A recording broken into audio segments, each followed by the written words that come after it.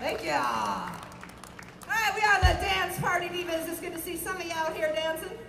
We can see a lot more of y'all. I know the sun is hot, but there is some shade over here. Perhaps this would be a good time to get yourself a glass of some kind of cool beverage.